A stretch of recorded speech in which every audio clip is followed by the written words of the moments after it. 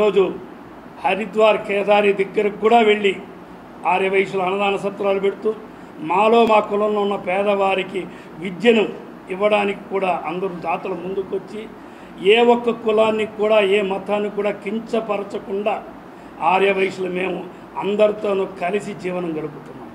అటువంటి కులం మీద ఒక బురద చల్లి చెడు మాటలు రాయడం చెడు మాటలు చే ప్రచారం చేయబడుతున్నది.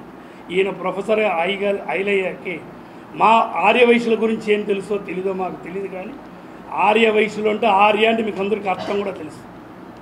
దైవ సమానత్వంతో వచ్చిన కులం అని మేము పార్వతీ పరమేశ్వరుని పూజించి ఆ యొక్క దేవదేవతల నుంచి వచ్చిన కులం ఇది.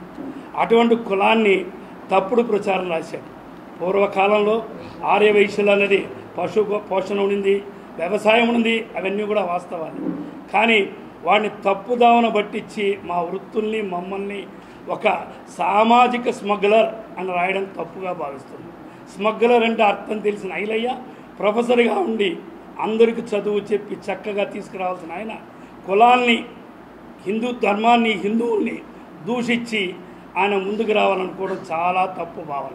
ఆ ఐలయ్య మా కులానికి రాసిన తప్పు దానికి క్షమాపణ కోరవలసిందిగా కోరుచున్నాం.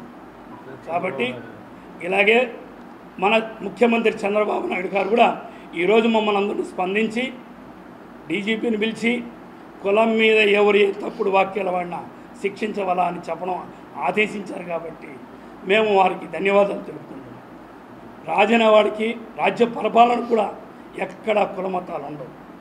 అటువంటి ఈ భారతదేశంలో ఇటువంటి ప్రొఫెసర్లు పుట్టి సైకోలాగా మాట్లాడడం సైకోలాగా రాయడం అన్నది తప్పు.